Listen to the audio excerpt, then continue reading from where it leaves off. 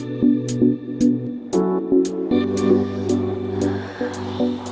السلام عليكم ورحمة الله وبركاته. كل متابعينا اللي بيتابعونا دلوقتي على شاشة قناتنا قناة النهار. وبرنامجكم أنا حواء كل عام وأنتم بخير. ذكرى آه، غالية ذكرى كريمة ذكرى تسوعاء وعاشوراء آه، ذكرى يوم عاشوراء طبعا هنتكلم النهاردة عنه باستفاضة. آه، بعد ما نتكلم عن الناس اللي بتحس الطريق. وبتعرف إن النور الحقيقي هو نور الإيمان. النور اللي بيخلينا نشوف كل حاجة على حقيقتها. بنشوف إن الظلم مهما عاش سنين إلا أن ربنا مع المظلوم بيهون عليه وبيكفيه شر الظلم وبيجيب له حقه حتى لو بعد حين. ده بيفكرنا بإزاي كان ظلم فرعون وجبروته لسيدنا موسى لكن في يوم ربكم أراد أنه يرفع الظلم ده وينجي سيدنا موسى وبني إسرائيل كلهم من ظلم فرعون الشديد. اليوم ده شرع فيه آه، الصيام. وربنا سبحانه وتعالى جعل آه، الصيام آه، النبي صلى الله عليه وسلم قال الصيام هيبقى يوم عاشوراء واحتسبوا عند ربنا سبحانه وتعالى إنه يكفر السنة اللي قبله. ودي نفحة من نفحات ربنا علينا. وزي ما ربنا جعلنا جعلنا في أيام إن في أيام دهركم لنفحات ألف فتعرضوا لها. فإحنا نفحاتنا النهارده في أيام مباركة زي يوم تسوعاء وعاشوراء اللي هنتكلم النهارده آه، عنه. وإحنا بنقول لكل محتاج لكل سائل لكل في آه، أزمة مادية أزمة نفسية. حد من الناس الغلبانة المسكينة بنقول لهم إحنا جنبك وإيدنا في إيدك وربنا سبحانه وتعالى جعلنا سبب وإن أنت ليك حق في مالنا ليك حق وما قل مال من صدقة وإن شاء الله ربنا يجعل في ميزان حسنات. كل الناس اللي هتتبارى لإخراج صدقاتها لأن في يوم إحنا هنبتغي فيه الأجر الحقيقي لكن في يوم هتكون فيه الشمس على بعد ميل وتيجي الصدقة. على حسب إخلاصك فيها هتكون شمسيتك. تحميك من حر الشمس. أنا كلامي مش مش كفاية لكن النهارده هنتكلم عن فضل الصدقة لكن بعد ما نتكلم عن آه، آه، يوم عاشوراء مع شيخ الجليل دكتور سالم عبد الجليل الداعية الإسلامي ووكيل وزارة الأوقاف الأسبق اللي منورني النهارده. السلام عليكم يا مولانا. عليكم السلام ورحمة الله وبركاته. شكرا. جزيلا وحضرتك وكل مشاهدينا بألف خير يا رب. يا رب. اللهم آمين. قبل ما أبدأ حلقتي النهارده في آه، تحية خاصة جدا لدكتور سالم عبد الجليل من الحاجة حميدة السداوي. دي. أمانة أنا بوصلها بتقول لحضرتك هي بتحبك جدا في الله وإن هي دعت لك كتير جدا في كل الأزمات اللي حضرتك مريت بيها وإن هي متابعاك وإن هي بتستنى الوقت اللي حضرتك بتبقى معانا فيه. أنا بلغت الأمانة يا حاجة حميدة ام هالة. قالت لي قولي له حاجة حميدة ام هالة. تحياتنا ليها وربنا يحفظها يا رب. وكل مشاهدينا الكرام ربنا يحفظهم. شكرا وإياك وإياك يا مولانا. طيب عايزين نتكلم النهارده عن يوم عاشوراء. ما هو يوم عاشوراء؟ وإيه فضله؟ ولماذا سمي بيوم عاشوراء؟ وماذا أوصانا آه، النبي صلى الله عليه وسلم أن نفعل في هذا اليوم؟ بسم الله الرحمن الرحيم. بحييك الأول على المقدمة عن عاشوراء وباخد من كلامك الجميل في أنه فعلا المظلوم عليه أن يثق في نصر الله سبحانه وتعالى لكن بين قوسين ولو بعد حين. الناس فاهمة يا دكتورة إن حد ضربني النهاردة وأنا مظلوم يبقى لازم آخر النهار قبل ما ينام يكون جاني خبر إن إيده انشلت. آه وحد مش عارف عمل إيه يبقى تاني يوم مات. الحرب سنة ربنا مش كده. ولا ما كانش حد هيظلم. صح. ما كانش حد يتمادى في الظلم. ربنا بيمهل للظالم حتى إذا أخذه لم يفلت وفرعون نموذج. وموسى عليه السلام مع ضعفه بين قوسين المادي مش المعنوي. المعنوي ربنا معاه واللي ربنا معاه ما حدش يقدر ابدا. عليه. طبعا. فمن عليه. أي أيوه فما دام ربنا معاه خلاص خلصت المسألة. فمن حيث القوة المعنوية يشعر بالقوة المعنوية لكن القوة المادية لأ. ال- ال- القوم نفسهم قوم موسى لما خرجوا معاه وقال لهم إن شاء الله هننجو لقوا البحر هايج ولقوا فرعون وراهم قالوا إنا لمدركون. ساعتها قال لهم كلا. اوعوا تقولوا كده إن معي ربي. سيهدين. فكانت النتيجة إن ربنا نصر ونصر. ما كانش حد يتخيله ولا يتصوره. شق له البحر. طبعا. معجزة عظيمة جدا. ليه ول- ول- ولمن معه؟ وفي نفس الوقت البحر اللي انشق عشان يكون نجاة لموسى هو نفسه اللي يكون سبب لأغرق فرعون. سبحانك فرعون. فهي كده النار اللي تحرق تصبح برد وسلام على إبراهيم. يعني عايزين نتعامل بهذه الثقة مع إيماننا بربنا سبحانه وتعالى. أنا مظلوم عارف ان هنتصر إمتى يجي النصر مش بتاعتي؟ ما استرسش على ربنا. لكن يبقى في يقين في الله سبحانه هيجي. إمتى؟ مش بتاعتي. إزاي؟ أنا مش همل على ربنا برضو. إزاي؟ هو قادر سبحانه وتعالى وهو أقدر على كل شيء. فيفعل ما يشاء ويحكم ما يريد. ولذلك سيدنا صلى الله عليه وسلم لما لقى اليهود لما راح ال- المدينة ولقى اليهود بيصوموا اليوم ده هو عارف لأنه كان بيصوموا أصلا في قريش. قريش كانت بتعظم اليوم ده. ياه أيوه كانت سنة عندهم كده بيعظموا هذا اليوم. فالنبي صلى الله عليه وسلم بيقول لهم أنتوا بتصوموا اليوم ده ليه؟ هو النبي عارف بس عايز ياخد منهم الكلام. قالوا هذا يوم صالح انجى الله تعالى فيه موسى ومن معه من فرعون ومن معه. فقال نحن أحق وأولى بموسى منكم. موسى. يا سيدتي إحنا الأمة الإسلامية إحنا بنمثل التعليم بنمثل العمليات التعليمية في نهايته في مرحلته النهائية. البشرية كلها مرت بكيجي 1 و 2 مرت بابتدائي من عند واحد لستة مرت بإعدادي وثانوي برضه ستة تانيين يعني 12 فصل دراسي أو 12 جريد زي ما بيسموهم. إحنا بقى أمة التخرج. إحنا أمة التخرج حضرتك وفعلا ربنا قال كنتم خير أمة أخرجت. شوف. التعبير. نعم. سبحان الله إلهام من ربنا إنك تقولي كده. فعلا إحنا أمة التخرج. و- وعلى فكرة المناهج التعليمية اللي درسها بتاع كيجي ودرسها بتاع ابتدائي وإعدادي وثانوي ما تتعارضش مع الجامعة. هي بتأسس ليها. أيوه. كذلك كل الأنبياء أسسوا لبعض ما هماش بدعة. وبالتالي لما سيدنا موسى يت... سيدنا محمد يتذكر ان جاء الله لموسى ما هو ده كان مرحلة قبلي ده أخويا. فيقوم يفرح بسيدنا موسى ويقول إحنا أولى بموسى منكم. ليه أولى بموسى منكم؟ لأن اليهود في التوقيت ده كانوا حرفوا كتابهم. آه. وما كانوش مؤمنين بموسى الإيمان الحقيقي. ومش موحدين الله سبحانه وتعالى التوحيد اللي ربنا أرادوا على مؤمنين لسان بسيدنا موسى. محمد اللي بشر بيه سيدنا موسى. طبعا طبعا والتوراة نفسها الحقيقية لو التوراة في إيديهم حقيقية كانت تبشر بسيدنا محمد وهكذا. التوراة والإنجيل مش بس التوراة. نعم. وبالتالي أقول بإن سيدنا النبي لما يقول أنا اولى وأحق بموسى منكم ده كلام حقيقي. فأمر بصيامه على سبيل الندب لأن رمضان هو الفرض. نعم. وبعدين لماذا بقى لم يصم إلا عاشوراء ست سبع ثمان سنين كمان؟ توفاه الله. آه ليه حضرتك؟ عشان اليهود أمهلني الله يقولوا إلى قابل. عشان اليهود يقولوا أهو زينا هو الراجل بيعظم اليوم اللي كان فيه موسى. فممكن فما ما نعمل عقلنا ونسلم. فلما أيس من هذا قال لهم لا خلفوهم بقى. هم بيصوموا يوم واحد صوموا أنتوا اثنين قبل يا بعد. آه مظبوط الله يبارك لك. بقى عندي ثلاث حضرتك أو أربع درجات. أربع درجات. الدرجه العليا إن اصوم تسوعا اللي هو إن شاء الله بكرة كل سنه وأنت إن طيبه شاء الله حضرتك طيب يا جمعة اصوم تسوعا وعاشورة وعاشورة والحادي والحادي عشر. عشر. يبقى جمعة. وسبت وحد. آه إحنا إن شاء الله نعمل كده. الدرجة الثانية إن ما قدرتش أصوم الثلاثة أصوم اثنين يبقى جمعة وسبت. سبت، نعم. ما قدرتش أصوم الجمعة فأصوم السبت والحد. آه. طب ما قدرتش على ده هو أصوم السبت بس. هيجي حد بين قوسين يقول لي طب ينفع يا مولانا نصوم السبت منفردا؟ الأصل لأ لا السبت منفرد ولا الجمعة الجمعة منفرد ولا الحد منفرد. لكن يجوز أن نصوم أحد هذه الأيام لسبب. إما يكون في سبب ما يجراش حاجة. آه. وبالتالي من لم يستطع أن يصوم سوى يوم عاشوراء فقط اللي هو موافق السبت أهلا وسهلا. ودعين هنا أؤكد على نقطة مهمة جدا جدا. إحنا مش بنصوم عاشوراء عشان استشهد فيها سيدنا الامام الحسين. عاشوراء آه. بتمثل بالنسبة لنا انتصار سيدنا موسى عليه السلام. على فرعون. على فرعون ونصرة ربنا ليه. وفي نفس الوقت بنتذكر استشهاد سيدنا الحسين ونؤمن كويس قوي بأن المبادئ يجب أن نضحي لها بكل شيء مش بس بالمال حتى بالنفس اللي عمله سيدنا الإمام الحسين أستاذ سيدنا الإمام الحسين حضرني يا مولانا أنا كنت في الكويت ولقيت الناس. زي ما بيقطعوا آه. نفسهم مش عارف إيه وبيشروا دم آه. الكلام ده طبعا ما أنزل الله به من سلطان طبعا. ده نقلنا إلى الجروح والألام اللي بتحصل ديت إن إحنا نعمل إحنا بقى كمسلمين حاجة تانية خالص إن إحنا ك... عندنا مستشفى صرح طبي كبير جدا زي مستشفى البر والتقوى في يوم زي يوم عاشوراء هم بيجرحوا نفسهم وبيأذوا نفسهم لا إحنا هنداوي الجرحى وهنداوي المرضى وهنداوي المتألمين من خلال الصرح اللي بيقيم بتقيمه جمعية البر والتقوى في دمياط وهو المستشفى اللي بي تحت التأسيس دلوقتي. تقول إيه في هذه الذكرى لكل من يتصدق لهذه المستشفى في الذكرى آه، الخاصة بيوم عاشوراء هقول اللي حضرتك قلتيه من شوية إن في أيام دهركم لنفحات ألا فتعرضوا تعرضوا لها. لها. نعم. ما يبقى يوم عاشوراء يوم صالح.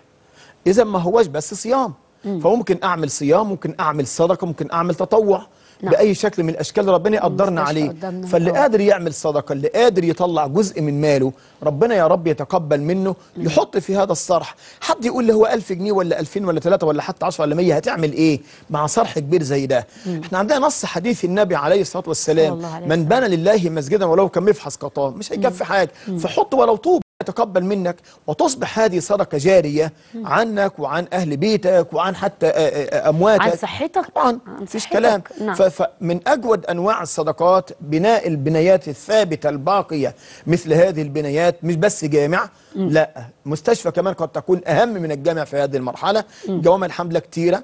مش بنقلل من العالمين. الجامع بس والإنسان كتيرة يستطيع أن أن يصلي في بيته أو يصلي مع أهل بيته جماعة إذا تعذر الموقف. ودلوقتي كانت المساجد م- مغلقة لكن المستشفيات لا صحيح. تغلق. نعم. لا وأضيف لده أنت كمان على بلد زي مصر حضرتك فيها ما تجاوز 120 ألف مسجد وزاوية. ما شاء يعني الله. رقم مش بقى موجود. كانت بلد الألف مأذنة آه، ده كان زمان المليون. القاهرة دي. المليون مأذنة. القاهرة كانت آه، ألف مأذنة. ده كان زمان. إنما دلوقتي إحنا بنتكلم على عشرات الألاف في القاهرة والألاف في المحافظات الأخرى. اذا إحنا وصلنا الرقم مش موجود حتى في كل أوطاننا العربية تقريبا يعني نعم. المجموع بتاعه. أيوه. ف وبالتالي أقول لما يبقى عندنا بقى النهارده آه، بتاع ده مستشفى عندنا حاجة تانية نوجه فيها أبواب الخير ما جراش حاجة ابدا. وأنا في يوم من الأيام وأنا وكيل وزارة جاني خبر كده من جريدة ال ال ال الأهرام إنه بيقولوا 25 مسجد في قرية ومدرسة واحدة. في خلل.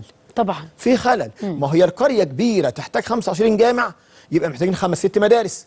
صح يا إما القرية صغيرة مش محتاجة غير مدرسة واحدة يبقى مش محتاج 25 جامع ما شاء الله فإحنا آه. عايزين توازن. التقييم بقى لما يكون الواحد ماسك آه، يعني من اولي الأمر لما يكون. ماسك المسؤولية يبقى فعلا تصنيف. الكفاية والفرض صحيح. يعني أنا عندي حاجة دلوقتي أصبحت فرض إن أنا أتصدق ليها يعني يعني.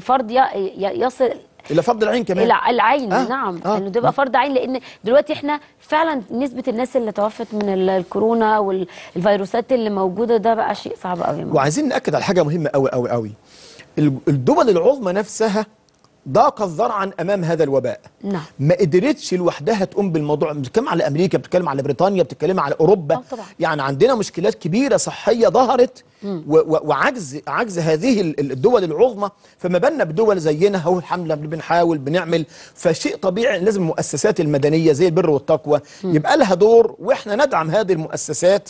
لأن الدولة لوحدها ما تقدرش تقوم بكل ده. وبأكد مرة تانية وبقوله عدة مرات إن زمان الأمة الإسلامية نهضت بالوقف.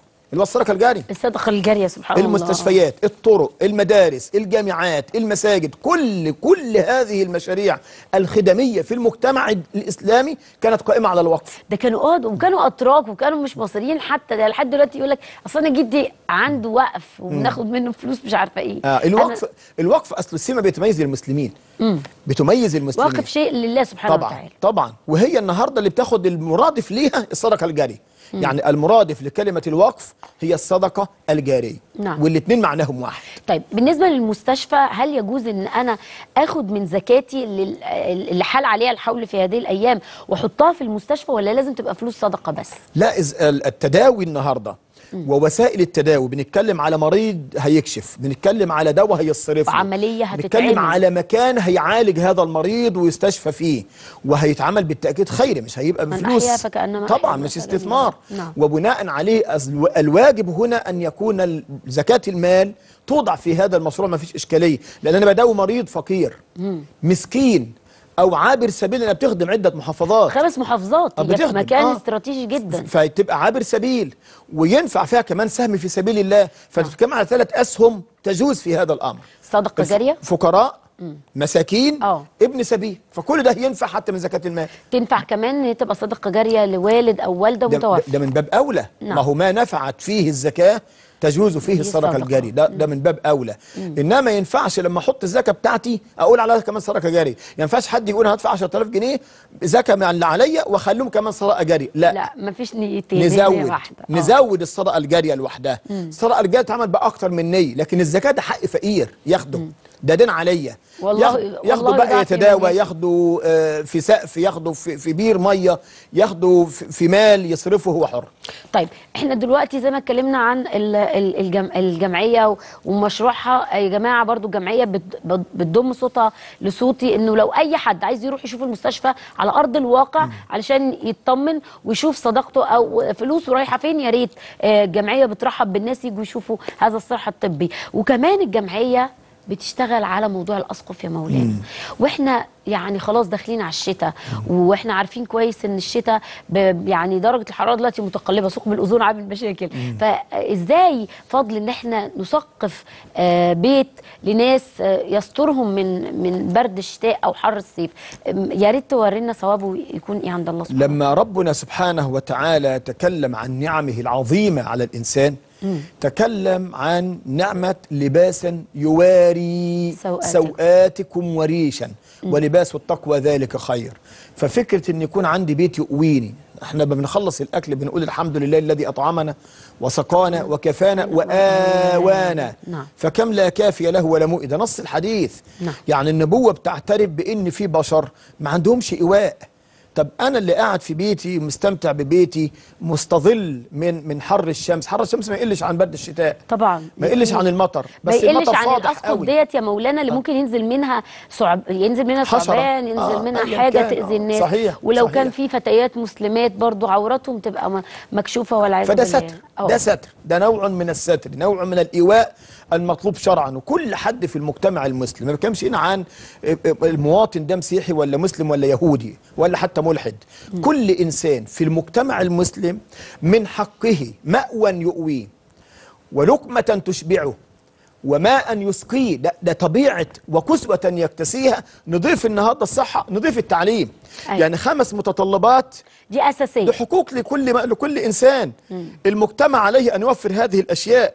وإذا لم تستطع الدولة أن تقوم بهذا وإحنا اتفقنا إن الدول مهما كان عظمتها ومهما كانت قدرتها الاقتصادية محتاجة. فهي عاجزة محتاجة الشيء المؤسسات الطبيعي إن إحنا المدنية. نساعد بقى أه. نساعد والمؤسسات المدنية تقوم بهذا مين هيدعم المؤسسات المدنية؟ ما هي المؤسسات المدنية ما بتشتغلش لوحدها. لازم فاعل الخير. هم اللي. يدعموها. إحنا بالكلمة وغيرنا بالفعل ربنا يقدره إلى آخره. آمين يا رب العالمين. إحنا المبادرة اللي بتطلقها جمعية البر والتقوى هي جمع... آه، مبادرة حياة كريمة. فإحنا عشان إن شاء الله ربنا يكرمنا جميعا نعيش حياة كريمة خالية من المرض. عندنا المستشفى ربنا يجعل في ميزان حسناتكم. التصدق للمستشفى. عندنا التص... الأسقف أو تسقيف المنازل وده من ستر مسلما ستراه الله. وعندنا حفر الابار المشاريع اللي بتعملها جمعية البر والتقوى بالمشاركة مع المبادرة الرئاسية. آه، حياة كريمة. إن شاء الله آه، كل اللي هيشارك فيها هيبقى له الأجر والثواب ويكون كده ليه سهم في الجنة إن شاء الله.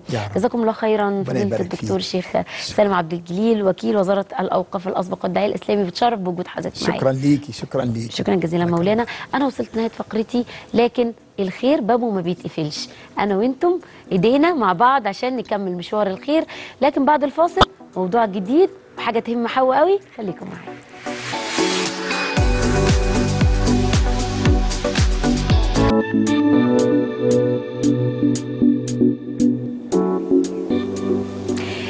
عليكم ورحمة الله وبركاته. رجعت لكم بعد الفاصل وطبعا كل ست بحلم الرشاقة وحلم الجمال آه، مهووسة. وكل ست بتتخن عايزة تخس واللي خاسة وجسمها ايديال تبقى تقول لك لا في حتة هنا كده مضايقاني. أصل مش قادرين نرضى ابدا.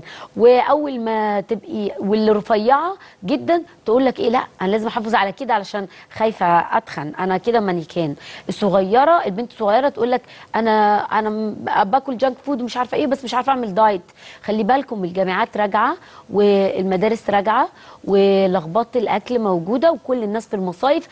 يعني مش عايزة أقول هبلنا كتير وبناكل براحتنا وسايبين الدنيا خالص. الآيس كريمات. أنا عايزة بس أسأل الدكتور النهارده على موضوع الآيس كريم ده لأن تقريبا أنا أكلت ثلاث أربع كراتين آيس كريم. مش فاهمة أي حاجة. فلازم أسأل على الحاجات الكتيرة جدا اللي إحنا مبوظين بيها الدنيا في الصيف. لكن آه معانا النهارده منتجات هتخلص على الليلة دي كلها. وعشان النهارده معايا دكتورتي الجميلة الأنيقة الشيك العسل ام دم خفيف دكتوره هبه العوضي أخصائية التغذية الإكلينيكية والتجميل والليزر اللي منورانا النهارده وأنا برحب بيها معاكم. هبة. الجمال يا حبيبة قلبي يا ميورة. إزيك يا حبيبتي؟ بتوحشيني ويوحشني الجمهور بتاعك من أسبوع لأسبوع وانت. كمان بس أنا يوم بتوحشيني. الخميس والله يا دكتور وانت حضرتك كمان قلبي، والله بتوحشيني. بحب قوي الحلقة مع بعض. تسلمي لي والأسئلة كمان بتجيلي على مدار الأسبوع. كلهم بيقولوا لي عايزين دكتوره هبه ونسأل دكتوره هبه دكتوره هبه يمكن أنا كمان على الموضوع بتاع الآيس كريم ده قبل ما ندخل ونسأل إيه اللي بيحصل هل الآيس كريم بيتخن ولا لأ؟ لأنه طبعا مع الحر ده كله بياكل آيس كريم. هنكتب يا ميورة؟ لازم يكون بيتخن. إحنا أنت عايزة. تصوري الموضوع سهل قوي؟ لأ بس ما بيتخن. فيهوش حاجة ده شوية تلج يعني. لأ بي- في سكر. في سكر. كمية السكريات اللي بتتحول لخلايا دهنية دي بيتخن في الآخر. آه. وطبعا معاه بسكوت آه، أو يعني زي ال- ال- الكونو في نظام الكونو أو حاجة زي كده طبعا بيتخن. والشوكليت. الموجودة فيه طبعاً. والشوكليت موجودة كلها سعرات حرارية داخلة جسمي. طيب إزاي أنا احل المعادلة الصعبة؟ إني آكل كل حاجة كل حاجة نفسي فيها ما أحرمش نفسي من حاجة ما أحرمش نفسي من متع الحياة وفي نفس الوقت أحافظ على وزني. مش أحافظ على وزني بس أحافظ على صحتي. ليه؟ لأن الخسارة في الوزن مكسب للصحة. صح. مم. معادلة مهمة جدا. 90% من مرضى السمنة ما بيعانوش من السمنة الصرف. لازم ليها توابع. وأول تابع لمرض السمنة يا جماعة التهاب المفاصل ركبي. ركبي. بحمل اوفر ويت مش بن- ربنا خلقنا لا بنقدر نقوم نصلي ولا بنقدر نطلع السلم أنا أيوه أنا عندي في بيتي بقى؟ سلم جوه البيت آه. اللي جوه ال- الداخلي. آه السلم الداخلي بصي حضرتك لما الجرس يضرب أقعد أنا إيه أعمل. نفسي نايمة مامتي تعمل نفسها بتصلي ابني يعمل نفسه ما حدش يقدر ينزل عشان السلم لا لا انت خلاص يبقى انت خلاص معانا كده. لا، لا، لا، بس ساعة بقى. ما خدت المنتجات بتاعتي زي القرد. معانا لا ما. تهرجيش فازاي نحقق المعادلة الصعبة أنا أنا لازم أحافظ على صحتي. لازم أحافظ على ضربات قلبي. السمنة بتزيد خلايا دهنية بتزيد بت- بترسب على. الأوعية الد- الدموية. تقفلها لي تعمل لي لا قدر الله جلطات. ترفع لي الضغط تزود عندي ضربات القلب. دايما السمنة مرتبط بيها خلل في الحالة الصحية بتاعتي. تمام. أقل حاجة بت بت بتعطل الإنجاب. يعني. الصحة الإنجابية للراجل والست بتعطل لا للست بقول ماشي بيبقى في تكيس آه،. دهون على المبايض لكن الراجل الراجل نهار كتيرة. جدا. إحنا وقعدنا إزاي بتأثر على الصحة الإنجابية للراجل؟ مش هتكفينا حلقة. وهن وهنجيبها في حلقات كتيرة بعد كده. إزاي السمنة بتأث بتأثر على الصحة الإنجابية؟ عشان كده دايما همسة في أذن كل واحدة عايزة وراجل داخلين على جواز ومستنيين خلفة. لا stop في الفترة اللي أنتوا بتجهزوا فيها ممكن معانا تتصل بنساعدك ونبقى support ليك دعم ليك إزاي إنك تنزل وزنك بصحة وأمان بطريقة طبيعية جدا. وفي نفس الوقت تقدر تخش حياة جديدة مش خايف من ال- ال- ال- ال- ال- ال- ال- المخاوف بتاعت بقى إيه لأ ده في عقم ده لأ في تأخر في الإنجاب الكلام ده لأ. هيفرق معايا فعلا كل. واحدة بيكون آه، في عندها تأخير في الإنجاب لما بتروح للدكتوره أو الدكتور يقول لها خسي. طبعا. يعني طبيعي. آه، ثبت علميا إن الخلايا الدهنية بتأثر على المبايض وبتعمل تكيسات مبايض. بتأثر لي على التوازن بين الهرمونات الانوثه عندها. كل ده ديفكتس في الهرمونات دي كلها بتأثر لي على الإنجاب. فطب أنا ليه؟ طب أنا أشيل دماغي من الوش ده وأبدأ حياة سليمة بطريقة سليمة أحسن. أنا قلت الخسارة في الوزن مكسب للصحة حاجات كتير. الشخير شخير بالليل بتحسن جدا. أنا أعرف ناس كتير رفعوا قضايا طلاق من تحت راس الشخير. روحوا خسوا الشخير ده من الكرش أصلا يا دكتور. لما الواحد يبقى عنده كرش لازم بيشخر كتير قوي. إحنا التخسيس معانا يا جماعة مش صعب. تخسيس معانا أونلاين ومع شركة فيتارم جلوبال سهل جدا. لو أنت دخلت في diet قاسي مش قادر تلتزم بيه مشيت فيه شوية وخسيت ورجعت تاني بعد ال diet وده اللي دايما أقوله ال diet القاسي بتحصل لك انتكاسة. نتيجة- آه، نتيجة انتكاسة. في إيه؟ انتكاسة في حاجتين. انتكاسة إنك شهيتك بتتفتح أكتر ونهمك على الأكل اللي كنت ممنوع فيه آه أكتر. ممنوع مرغوب. ثانيا أنت عملت أيام فترة ال diet خلل في معدل الحرق. ليه؟ لأن المعدة ما فيهاش أكل. من خلال ال diet القاسي ما فيهاش أكل. هيحصل هيحصل حرق إزاي؟ الغدة الدرقية هتشتغل على إيه؟ مش لاقية أكل. تبدأ الحرق على العضلات. يبقى أنا اثرت على الكتلة العضلية بتاعتي. يبقى أنت عملت في المعدل ال- الحرق الطبيعي اللي ربنا خلقنا بيه. فما ينفعش. بيحصل انتكاسة. لو أنت شهيتك مفتوحة إحنا شعب أكول وبنحب كلنا الأكل. لو أنت من النوع اللي بتاكل بالليل سواء أنت مثلا وظيفتك بتحتم عليك إنك أنت بتفضل سهران طول الليل أو أنا مثلا بحب أبقى سهرانة على الموبايل وأفضل أنقنق ورايح جاي على الثلاجه كل دي. لو أنا عندي مشكلة في الغدة الدرقية أو في المرارة أو الرحم اللي بتأثر على معدل الحرق كل المشاكل دي قدرنا نتغلب عليها من خلال البروتوكول العلاجي اللي بتقدمه فيتارم جلوبال. لازم اللي هو عشان كورس أخس كامل. الكورس لازم عشان أخس على أساليب علمية لازم تكون الأساليب العلمية دي مدروسة ومقننة. لازم اللي بيحط الأساليب دكتور تغذية وعشان كده أنا بشكر الدكتور هشام على الهوا إن هو قدر يوفر نظام علاجي فاهم الحالة الاجتماعية فاهم ال lifestyle بتاع المريض فاهم الأسباب اللي أدت بيه لزيادة الوزن عشان كده قدر يتغلب عليها. من غير ما يحرمه من أكل من غير ما يدخله في رجيم قاسي من غير ما يطلب منه إنه يمارس تمارين رياضية. لا إحنا كل ده موفرينه لك. مش مش غصبين عليك إنك تمارس تمارين رياضية لأن إحنا بنخاطب فئة من الناس ما تقدرش إن هي تمارس تمارين رياضية. ممكن تكون آه خدت على الأنتخة وانت عارفة إحنا في ناس عندها مشاكل في الركب. آه كبار السن أقول له أنت اجري وامشي إزاي؟ مش حرام. يعني يعني حضرتك كنت قلتي لي وإحنا في أوضة المكياج قبل الهوا قلت لي إن كنت جايبة حالة لايف معانا كانت كانت جميلة جدا والله وعاملة سعيد إنجاز هيجي بإذن الله سعيد هنستناك يا سعيد. لأنك أنت فعلا إحنا محتاجين شايفني آه. قال بصي قال لي أنا نفسي أطلع معاكي نفسي أطلع معاكي قلت له طب يا تعالى يا سعيد بس المشكلة إن الوقت كان اتأخر امبارح طبعا وتجهيزات الاستوديو. بإذن الله الخميس جاي لكن إحنا برضو معانا صورة حائله برضو من آه، الحالات اللي كان مع معانا. مصطفى مصطفى مصطفى برضو من ضمن حالاتنا. مصطفى. وبصي بقى واحد تاني كان مليان كرشه اتحول بقى إنسان تاني خالص خس إنسان يعني كان إنسانين في بعض شلنا إنسانون من. عليه إنسانون آه معانا. بقى إنسان تاني خالص خس من 125 كيلو ل 90 كيلو يعني بمثابه 35 كيلو خلال ثلاث شهور. اخذ معانا الكورس الثلاثي. طب إحنا عايزين نخس مش هنسيب نفسنا فريسة للدايت إيه بقى هو والرجيم الكورس الثلاثي عايزين نعرفه بقى هنقول كل من حاجة. الناس بعد ما شفنا مصطفى. مصطفى ممكن يعني أنا قربت مصطفى. الله. بصي وقفته بقى وهو خاسس. لا لا الثقه ثقة. بالنفس رهيبة ثقة في النفس جدا أنا مش عايزة منك. على فكرة عزيمة واصرار العزيمة والاصرار دي كنت بطلبها منك أيام ما كنت بتعمل الرجيم القاسي بتاخد لازم إحنا عشان لستة ال ال ال ال ال الممنوعات. ال diet الممنوعات. نخش السوبر ماركت بتبقى على فكرة ميزانية لوحدها. ال- الزبادي diet خالي الدسم.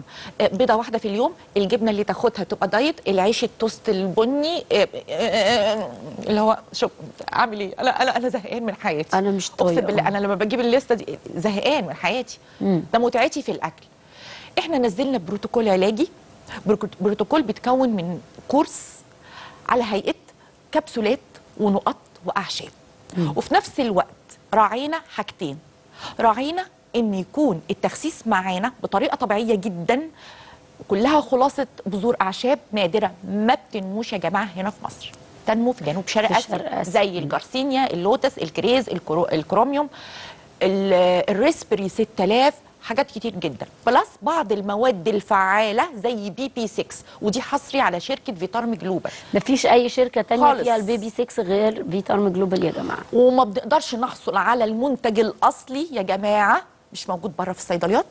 إحنا مقتصر على الشركة من خلال أرقام التليفونات اللي بتنزل على الشاشة. ونزلوا لنا كمان يا جماعة لو سمحتوا صفحاتنا صفحات فيتارم جلوبال على الفيسبوك آه أيوه أهي أول صفحة فيتارم جلوبال Diet. بالعربي؟ طبعا يا دكتور. أيوه إيه؟ آه موثقه موثقة طبعا آه آه موثقة. آه. العلامة الزرقاء باينه. العلامة الزرقاء. العلامة الزرقاء. آه عشان بس اللخبطة. بتاعت آه الناس وانتحال الأسامي بتاعتنا. فيتارم جلوبال بال English وفيتارم جلوبال سيطر على آه تخليش ال- آه. ورشاقه ورشاقة. معانا ثلاث صفحات وطبعا على ال strip بتنزل أرقام التليفونات.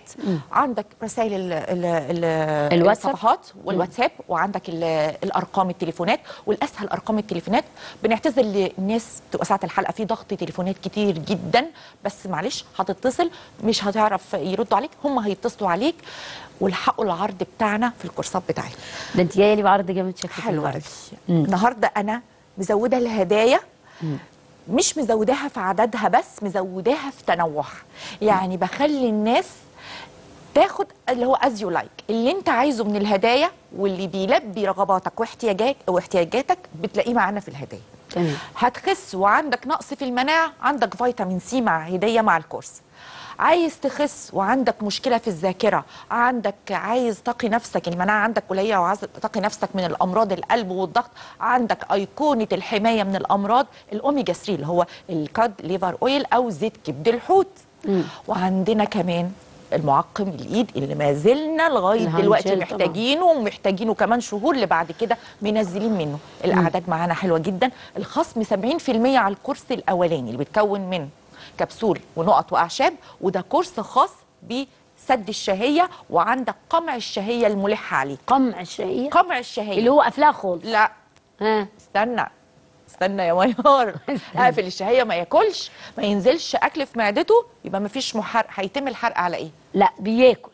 هياكل بس بكميات مقننة. اللي هي تشغل لي الحرق. في مثل أوروبي بيقول إيه الأكل الصحي تاكل small frequent meal يعني أنت بتاكل وجبات متتالية صغننة. هو ده الأكل الصحي. إحنا بنخليك تحافظ على الثلاث وجبات. و snacks بين الوجبات.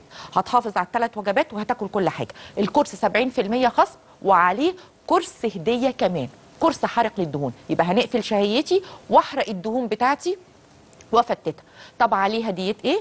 علبة الجامبو الأوميجا 3 اللي هو ال cod liver oil 100 كبسولة أو علبتين الفيتامين سي معاهم علبتين ال hand gel الشحن مجانا حد عندك في البيت؟ والمتابعة ملزم بيها وعشان كده عملناها مجانية. الله علينا الله علينا. وعلى العروض الجامدة جدا والهدايا الجامدة جدا من فيتارم جلوبال. ملكوش حجة كل ست عايزة تخس ملهاش حجة. حتى عايزة تحافظي على صحتك ومناعتك وكل حاجة. والفيتامين سي لبشرتك كل حاجة موجودة مع فيتارم جلوبال. العرض ما يتفوتش اتصلوا بسرعة جدا. أول 10 متصلين. آه يعني أنا بنفسي اللي هبقى برد عليكم. آه، 70% خصم جامدين جدا. آه شكرا جزيلا دكتورة هبة العوضي. أخصائية التغذية الإكلينيكية والتجميل والليزر نورتيني يا قمرايه قلبي، نورتيني يا thank you. هستناكي إن شاء الله يوم الخميس. الجاي. أنا آه، خلصت فقرة التجميل والرشاقه لكن هنتكلم عن موضوع هام جدا عن التنمر وأثره على المجتمع والقوانين المستحدثة في آه، آه، موضوع التنمر قوانين التنمر الجديدة علشان نحد من هذه الظاهرة. بعد الفاصل مع زميلتي العزيزة سميحة. بعد الفاصل خليكم معايا.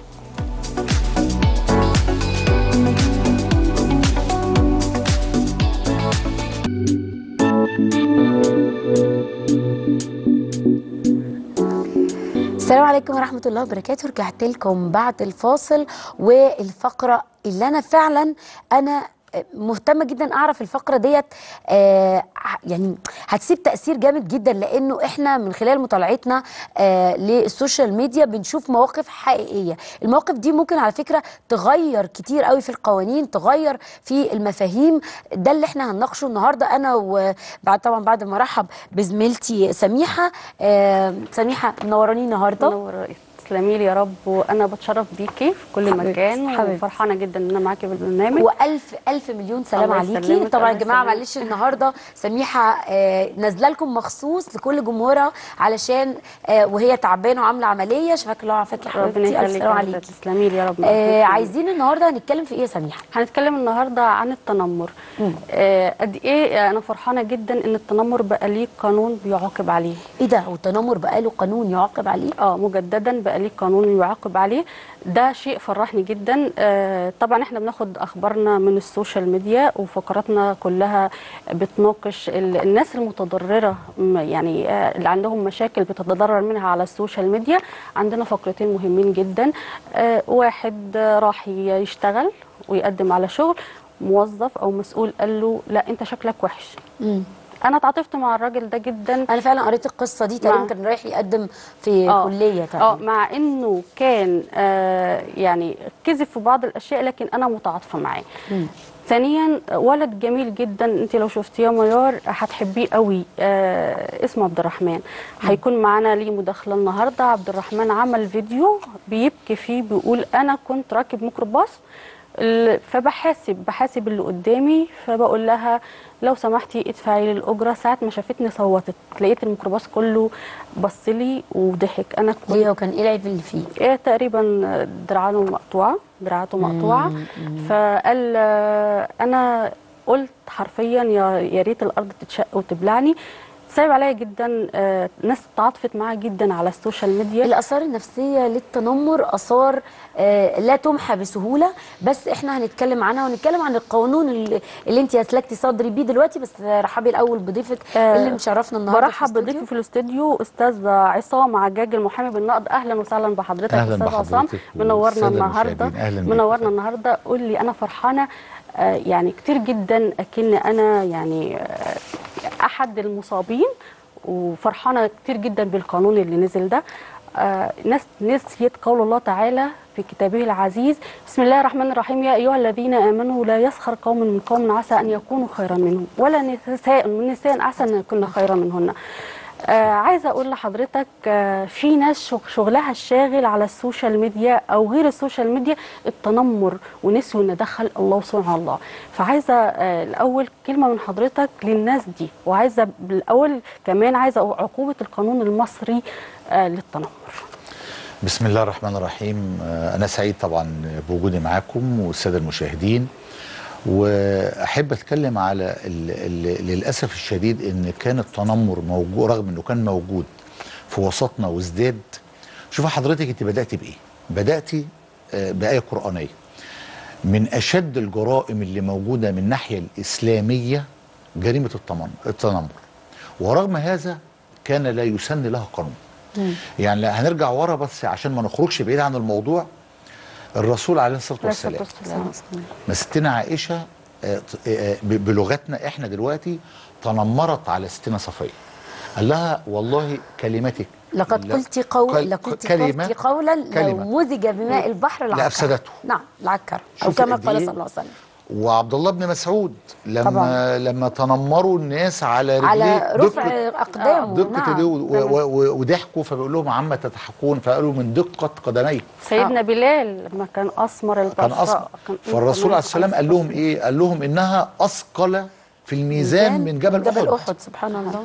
ففي حاجات أنا عايز النهارده ال- آه، وده اللي أنا عايز أقوله إن إحنا النهارده في ال- المجتمع المدني لما بدأت ال- الأمور تزداد عن زيادة عن الحد وبدأ الناس تستاء من هذا الأمر تنمر اللي زاد بشكل رهيب بين الناس وخاصة في المدارس وأنا أقول أو التجمعات المناطق اللي فيها تجمعات. آه، الموضوع آه، تصاعد. آه، مجلس النواب افرض له نص مادة ما كانش موجودة. طيب وهو ده اللي كان المفروض إن كان يتم. زي بالظبط بالظبط واقعة التحرش.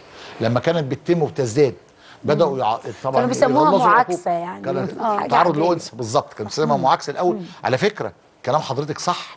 وكانت اسمها كان كان الع- العقاب عليها كان غرامة فقط في الأول خالص. سنة 37 مهما طبعا. زادت مهما بالظبط. زادت آه.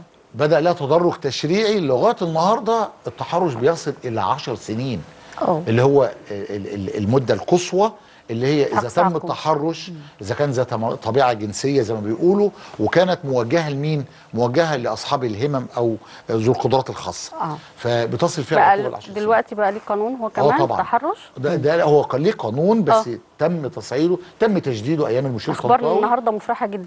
آه بصراحة. آه. آه. يعني هو كده لازم الناس آه، تعرف كويس إن الم... إذا كانت الأخلاق آه، ابتدت تنحصر في المجتمع نتيجة طبعا ل- لعوامل كتيرة مش عايزين نسردها دلوقتي إنما القانون رادع وموجود وبيطبق. وأحب أقول للناس عشان برضو يبقوا عارفين ال- المشرع أفرض إيه لعقوبة التنمر. آه ده مهم قوي عقوبة الحبس ست شهور وغرامة. إذا حصل من اتنين فأكثر بتشدد العقوبة بتضاعف العقوبة إلى سنة من اتنين فأكثر إذا كان ال- اللي, اللي بيمارسوا هذا التنمر اللي هو اللي إحنا بنقول عليه شكل من أش من أشكال الإيذاء أو السخرية أو التهكم أو أو خلافه بتشدد العقوبة إذا كان اللي بيمارس هذا الأمر من متولين تربية المتنمر عليه اللي هو المتعرض للتنمر زي المدرس بتاعه زي حد من ليه سلطه أبوية عليه أو سلطة آه، دراسية أو سلطة وظيفية من ال ال ال الرئيس لمرؤوسه أو خلافه اللي هو القانون نص عليهم على سبيل الحصر حددهم اللي هم المتولين تربيته اللي لهم سلطة عليه إذا كان خادم بالأجرة لديه بتشدد العقوبة. إذا اجتمع الظرفين المشددين بتو- بتوصل العقوبة فيها إلى غايه ثلاث سنين سجن يعني إذا كانوا اتنين فاكثر وإذا كانوا من متولين تربيته وخلافه. عايز أقول إن هذا الأمر أصبح مجرم قانونا. وإن كنت بقول إن مفروض أنا بنادي المشرع بأن تكون العقوبة فيها إلزامية لأن هي العقوبة فيها الحبس أو الغرامة. العقوبة الحبس كام سنة؟ ما أنا قلت إنها بتبدأ بست شهور. بتضاعف للسنة تصل إلى ثلاث سنوات اللي هو الحد الأقصى للجنحة اللي هي إذا كان اجتمع الظرفين المشددين اللي هي اللي, اللي إحنا قلنا إذا كانت بتمارس من متولين التربية أو الولاية أو له سلطه وظيفية أو سلطة إشرافية أو خادم بالأجرة أو اتنين فاكثر بعد القانون ده. من وجهة نظر حضرتك هينتهي إمتى التنمر بص دور المجتمع المدني عليه دور كبير. دور المدرسة دور الأبوين ال- ال- ال- ال- الحاجات دي كلها مهمة جدا. وعشان كده والمشكلة مش مشكلة في العقوبة. المشكلة يا جماعة إن إحنا التطبيق. أنا نقي- بحس التطبيق. بصرف النظر عن التفعيل كمان يا أستاذة. يعني أنا عايز أقول إيه؟ أنا عايز أقول إن الوقاية خير لأن النهارده تخيلي إن التنمر لما بيتعرض ليه وفقا لآراء الأطباء النفسيين لما بيتعرض إليه المتنمر إليه أو اللي المتعرض. للتنمر أو المتنمر عليه. إيه اللي بيحصل؟ إن هو بيباشر هذا التنمر على حد تاني بيصاب بعقدة نفسية. سلسلة متوالية. ومتشابكة جدا. بيمارس على واحد أضعف منه هذا التنمر. النهارده بيكتئب بي- ما بينخرطش في في الحياة مع المجتمع. آه، يصل بيقول لك الاكتئاب فيه أطباء نفسيين إلى الانتحار. صح إحنا زي ما اشرتي يا سميرة يا سميحه آسفة آه، زي ما اشرتي حبيبتي إنه آه، قلتي إنه فعلا الولد اللي بتاع الميكروباص كان هي هي- هينتحر. أوشك اوشك على الانتحار. عايزة أقول لحضرتك كمان إن الضمير والأخلاقيات والناس تناست إن ده صنع ربنا سبحانه وتعالى وإن هم ما يقدروش يخلقوا ولو نملة. تمام. فدي أخلاقيات وضمير آه يعني وكلمة جبر الخواطر يا ميار. جبر الخواطر ديت ما عرفوش حاجة. عنها. من كان جابرا للناس في الخواطر أدركه الله وهو في جوف المخاطر. جوف المخاطر طبعا. وبعدين أنا عايز أقول لحضرتك على حاجة. هو لو هو لازم عارفة لغة بدل الكراسي. يعني أنت حط نفسك مكان هذا الشخص فأنت هتتعرض لط- يعني أنت النهارده أنت آه، أقوى منه فالنهاردة بتمارس سلطاتك. أو قوتك البدنية أو التهكم أو السخرية عليه على أقل منك طب ما أنت ممكن تتحط في هذا المكان. صحيح. يعني أنا بس للناس اللي سامعينا الرسول عليه الصلاة والسلام. لما كان في راجل بيقول له ائذن لي بالزنا الرسول عليه السلام قال لم إيه؟ ينهره، قال له حط أصلاً لم نفسك. آه قال له يعني قال له حط نفسك في هذا المكان. ترضاه لامك قال له لأ. لأختك لأ. لزوجتك لأ. لابنتك لأ. لعمتك لأ. لخالتك لأ. كلنا هذا الرجل يا أخي الإسلام. يعني النهارده لو أنت النهارده اللي بتتعرض لهذا التنمر أو عندك ابن أو عندك أخ أو عندك بنت بتتعرض لهذا التنمر طب ما أنت لما تقيسها وتنظر لها بهذا المنظار أنت عمرك ما تمارس تنمر على أحد. خليني أقول لك إن ضيفنا النهارده أو ال- عبد الرحمن النهارده آه، اكتسب من الإعاقة بتاعته أو حكاية التنمر دي اكتسب fans كبير على ال- ال social كانت ليه ميديا. دافع. آه كانت ليه دافع حفزته إن هو ينجح آه وإن هو كمان يستمر. وكانت دافع كبير جدا الناس حبته الناس تبعته فناس كتير بتستغل حكاية التنمر زي ما في ناس بتستغله إن هو يعني لا يعمل لهم بتتأثر آه. بيها تأثير سلبي سلبي وفي ناس بتحولها لتأثير بتتأثر إيجابي. تأثير إيجابي. فعبد الرحمن حول آه، ال- الإعاقة بتاعته أو التنمر عليه لتأثير إيجابي عليه. وعبد الرحمن معنا على التليفون على فكرة. عبد الرحمن ألو؟ هلا. ألو؟ مساء الخير يا عبد. الرحمن إزيك؟ مساء النور ازي حضرتك؟ الحمد لله تمام. عامل إيه أخبارك؟ الحمد لله بخير والله. آه، قول لي يا عبد الرحمن عامل إيه دلوقتي وأخبار يعني التنمر عليك دفعك للإيجاب أو للسلب؟ هو طبعا حضرتك يعني كنت أنا زمان من ساعة يعني ما بدأت يعني أنزل الشارع وأتعامل الناس يعني في الشارع كنت بواجه مثلا يعني تنمر من الناس مثلا نظرات مثلا استعطاف نظرات مثلا استغراب زي كده.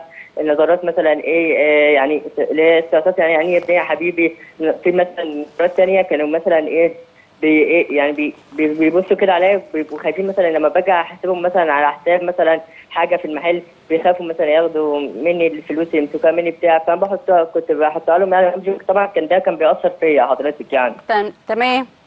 طب أغرب يعني المواقف يا عبد الرحمن بتضايق- كنت بتضايق وكنت بتضايق يعني بطلع البيت ومبقاش عايزه أنزل أصلا الشارع تاني ولا أتعامل مع أي حد. ببقى عايزه ببقى عايزه أقفل أصلا عليا الباب ولا أتعامل مع أي حد حضرتك طب خليني أقول لك على الهوا سبحان الله أنت شكلك جميل جدا أنا شفتك في الفيديو.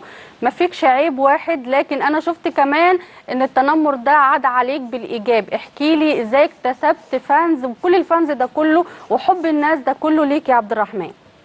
هو أنا طبعا يعني بديت أفكر برضو قلت يعني يعني أنا مثلا يعني أنا هفضل مثلا الناس هتفضل تعمل معايا كده لأن أنا أحاول بقى إن أحاول أحاول أنا أخلي الناس يعني بتفضل يعني تحبني ما ت- ما تفضلش تعكس وجهة نظرهم. عنك بالظبط. تمام. أيوه اخلي أخليهم يحبوني.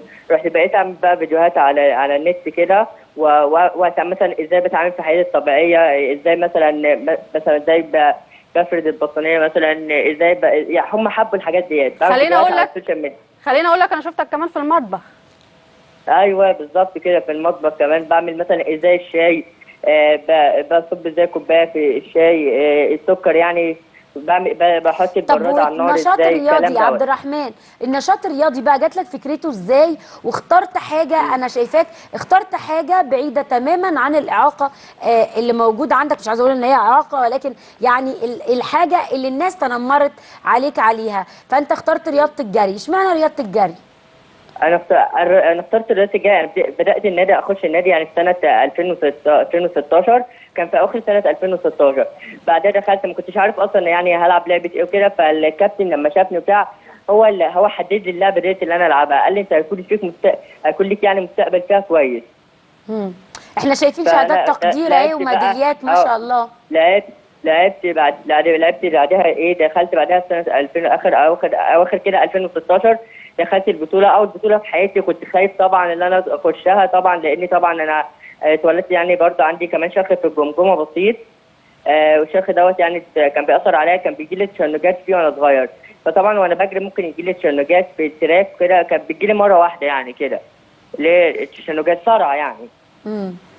فطبعا لو أنا لو أنا طبعا جريت طبعا ممكن أقع وأنا بجري في ال track طبعا يعني عملت عمليات وأنا صغير شالوا لي جزء من عظم دماغي ويعني لو أنا وقعت طبعا ممكن يحصل لي مضاعفات يحصل لي ارتجاج في المخ لكن ممكن تخطيت دوت. يطلع بره آه. لأن أنا دلوقتي ما عنديش عظم في دماغي في جهه الشمال آه شكرا يا عبد طبعا أنا كنت الرحمن خايفه الكابتن هو اللي شجعني ووالدتي طبعا كانت رافضه خالص إن أنا أخش بطولات هي أصلا كانت رافضة كمان إن أنا أخش نوادي عشان لحسن يحصل لي حاجة وأنا بجري كده إيه إيه الحمد أقع لله ربنا يعني. حماك يا عبد الرحمن وقدرت تحقق ميداليات وتحقق آه، شهادات وما شاء الله حولت التنمر إلى شيء إيجابي ادالك ثقة في نفسك وادالك أمل في المستقبل وقدرت تحقق آه، حلم أنت كان ممكن يكون بعيد عنك تماما. فالتنمر ما كانش حاجة وحشة وعسى أن تكرهوا شيئا وهو خير لك. تمام. آه في ناس كتير آه من كتر ما هي حساسة داخليا آه بتعتبر أي كلام أو أي مضايقات غير مقصودة تنمر. فده صحيح؟ هو موجود بس للأسف الشديد هو المفروض المتلقي ما ياخدش هذا الموضوع. لأن أنت النهارده ال- لو في حد بيمارس عليك هذا العمل أنت بينك وبين نفسك بينك وبين نفسك لازم يكون عندك الثقة في النفس. وما تسيبش ال- ال- ال- ال- المتنمر إن يعني يوصل لمبتغاه. أنت النهارده لما النهارده بتاخد هذا الأمر بنوع من من ال ال ال ال الضغينة جواك وال والألم النفسي جواك. أنت مش هتعمل حاجة. أنت ثقتك في نفسك إنك أنت أفضل وإنك أنت أحسن وإن هذا ده أمر مش بإيديك قبل كل شيء ولازم تعرف إن ده قدر وربنا عوضك عنه كتير قوي لأن ربنا سبحانه وتعالى بيدينا كل رب بصي وما ربك بظلام للعبيد. صدق الله العظيم. صدق الله العظيم. ادالك خد ونعم منك. حاجة ثق. تمام؟ الثقة. إذا كان خد من إيديك أو من رجليك عوضها لك في عقلك عوضها لك في سنك عوضها لك في في في فرحتك النفسية. خدت العشرة كاملين زي ما بيقولوا. مفيش حد بياخد أكتر من حد. وبالتالي المفروض ده ما يأثرش فيك بل بالعكس يكون عندك دافع إيجابي. هذا الأمر. الأمر الثاني انتقاص هذا القدر. عند ال- اللي بيمارس عليك التنمر عنده هو مش عندك انت. هو يعني. ممكن يكون المتنمر ده مريض نفسي أصلا؟ طبعا طبعا. ده ده, ده هقول لك على حاجة. مريض نفسي أو عنده ليس ليس لديه من الوازع الديني أو الأخلاقي ما يكفي. بدليل انك انت النهارده حط نفسك اقف بينك وبين نفسك على الأقل. انت بتمارس يعني انت النهارده بتستغل سلطاتك أو قوتك البدنية أو تحكمك على من هو أضعف منك؟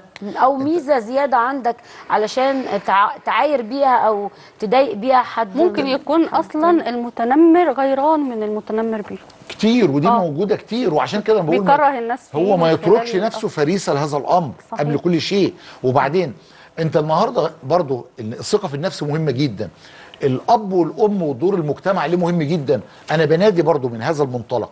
لأي أسرة لو ابنك بيتعرض لتنمر أو ابنك بيتعرض لتنمر لازم إنك أنت تتابعه في المدرسة لأن أصلا لو تم التنمر مرة أو اتنين وأنت قدرت توقف الأمر ده عند حده أو إنك أنت النهارده بتتابعه غير لما يقرر عليه لأن لما يقرر عليه هذا هيدمره نفسيا. هيدمره طبعا. هيخليه مكتئب. إحنا يعني أنا هيكره سمعت المدرسة هيكره الانخراط في المجتمع. طيب إحنا في جزئية هامه جدا يا أستاذ مستشار بعد إذنك آه المتنم الإجراءات القانونية اللي لابد أن تتخذ في حالة التنمر. يعني أنا دلوقتي لو واجهتني موقف زي ده إيه بقى الإجراءات القانونية بتسلسلها عشان أقدر أخد حق ابني أو بنتي أو ايا كان الشخص اللي متنمر؟ شوف هقول لك على حاجة. بسم الله الرحمن الرحيم. في الجزئية دي أي حد بيتعرض هو بصفة عامة أي حد بيتعرض للسمه جريمه المفروض إن هو بيتقدم ببلاغ. يا إما للنيابة يا إما الشرطة. فبيروح يقدم البلاغ يقدم البلاغ وبيقول فيه اللي, ع- اللي عنده الأر- المحضر. إذا كان لديه شهود بياخدهم معاه. ما عندوش شهود المحضر ما بيكتفاش بهذا. النيابة بتطلب تحريات مباحث. تحريات بتقول فعلا تعرض للتنمر ولا لأ. بتشدد العقوبة زي ما إحنا قلنا إن العقوبة أو الجريمة العقوبة بتاعت الواقعة ديت أو الجريمة ديت بتشدد إذا كان المتولي الصفة. أستاذن حضرتك اتفضلي. ناخد المداخلة؟ اتفضل معانا دكتور محمد المهدي أستاذ الطب النفسي. أهلا وسهلا بحضرتك يا فندم. يا أهلا وسهلا بحضرتك وضيفك. الكريم. ربنا يخليك يا. فندم. أهلا بيك. هل المتنمر مريض نفسي يا فندم؟ آه مش كل المتنمرين آه مرضى نفسيين. في نسبة منهم مرضى وفي نسبة أشخاص طبيعيين جدا. تمام. آه مش طبيعيين في في في, في سلوكهم يعني بس إيه مش آه، تنتفي عنهم صفة المرض يعني. تمام. لكن في شخصيات آه، يشتهر عنها التنمر. بالذات الشخصيات ال- ال- في شخصية اسمها شخصية ال paranoid. ال paranoid ده الشخص اللي هو يعني شايف نفسه فوق الناس وبيحتقر بقية الناس وشايفهم دون المستوى وسيء الظن دايما بيهم وعنده رغبة في السخرية والسخرية اللاذعة على وجه الخصوص وينتقص دايما ويحقر في الآخرين فبيبقى هنا التنمر جزء من المنظومة الشخصية بتاعته. آه برضو في الشخصيات السيكوباتيه أو الشخصيات المضادة للمجتمع دول بيبقى برضو التنمر عندهم أحد سمات الشخصية لأنه دايما ينتهك حقوق الآخرين ويعتدي على كرامتهم وعلى مشاعرهم ويجرحهم ويعمل الحاجات دي كلها. وفي بقى شخصية أسوأ من دول اللي هي الشخصية الساديه الشخص السادي ده بيستمتع بعذاب الضحية وبألم الضحية. ودي بنشوفها في المتنمرين اللي في المدارس أو في أماكن العمل لما يكون في حد عنده نقطة ضعف آه، في طريقة كلامه أو في شخصيته أو حاجة يجي الشخص السادي ده ويستمتع بأهانته ويستمتع بال بإن هو يقلل من قيمته قدام الناس أو آه، يسخر من عيب في شكله أو في طريقة كلامه أو في شخصيته و- ويستمتع كمان بضحك الناس عليه آه، ويكرر ده كتير وياه ولا يشعر ابدا بالألم يبقى عنده نوع من البلادة الانفعالية هو والشخصية السيكوباتية أو الشخص ال- الشخصية المضادة للمجتمع دول ما بيشعروش بالألم بل بالعكس بيبقوا سعداء جدا ويضحكوا ويضحكوا الناس اللي معاهم على هذا الشخص الضعيف اللي قهروه وتنمروا بيه. طبعا دي الشخصيات اللي هي فيها الجانب المرضي. آه، في بقى شخصيات أخرى ما فيهاش هذا هذه الجوانب المرضية أو الشخصيات المضطربة ولكن بيعملوها كنوع من التسلية. آه، أو الهزار بس هزار سخيف. تسلية على حساب الآخرين يا فندم ولا على حساب آه نفسيتهم؟ طبعا. طبعا. هما ب- ودي بتبقى أنانية منهم لأن هو مقابل إن هو يضحك ويضحك زمايله على آه، زميلهم الغلبان المنكسر الضعيف اللي فيه مشكلة أو في نقطة ضعف فمقابل إن هم يضحكوا ويتبسطوا آه بيمارسوا ده. وبعدين ساعات ال- الم- المتنمر به يخليهم أو يغريهم بالتمادي. لما يتأثر أو آه يتجرح أو يظهر لهم يا فندم هذا التأثر. فبيعطيهم كأنه بيعطيهم نوع من آه ال- ال- التغذية إن هم يعملوا ده تاني. يعني بيحسوا إن هم سابوا أثر فيه فبيغريهم. طب المتنمر بيه المفروض. يعمل إيه هنا يا فندم؟ المتنمر بيه أول حاجة المفروض إن هو آه آه يعني يقف لمحاولات التنمر. والوقفة مش إن هو هيتخانق معاهم ولا يشتمهم ولا يمارس التنمر هو كمان عليهم. آه لكن بياخد موقف حازم وبكلمات قليلة فهم لما يلاقوا إنه لم يقبل ده وإن هو بيرفض ده ده بيقلل شوية من محاولاتهم الحاجة اللي بعد كده الرفض الحازم المبدئي ده التجاهل الشديد إنه آه، آه، لا يتأثر ولا يبكي ولا يبان عليه إن هو آه، اتجرح لإنه ده بيعطيهم نوع من التشجيع إن هم عملوا فيه. يتمادوا. فلو. تجاهلهم وبعدين لو امكن ان هو يتجنبهم. يعني لو هم في مكان ما يبقاش معاهم إذا ده ممكن. بتبقى غصب عنه يا دكتور محمد بتبقى حاجات مضطر لها ممكن يكون ده طريقه ال- الوحيد ل- ل- مثلا للشغل أو للبيت آه، يعني بيبقوا في فصل واحد. عامة يعني شكرا جزيلا دكتور محمد المهدي آه، لهذه المداخلة الجميلة. إحنا وصلنا لنهاية الفقرة يا ال- ال- الفقرة عدت بسرعة عدت جدا. جدا وكان في أسئلة كتير جدا لسياده آه. المستشار لكن الموضوع ما خلص آه، إن شاء الله هيبقى له حلقات تانية نتكلم فيها. آه، اشكري ضيفك. آه، آه، ألف ألف شكر.